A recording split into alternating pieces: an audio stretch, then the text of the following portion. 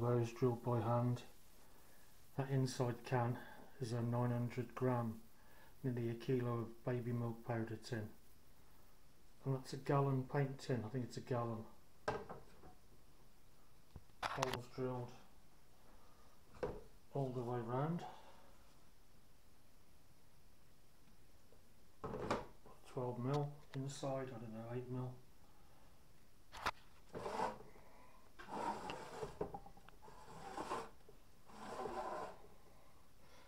The top, well, I've used heat proof substance to seal it, but you can buy it online. It's for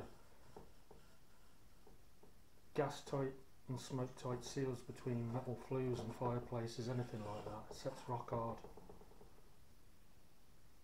You just cut a hole in the top of the can, feather it and push it in, and then I use, some people don't use that black um, uh, black cement, but I do. Holds it tight, the, the inside can as well. That's solid. So yeah, I should be trying out later, inside view.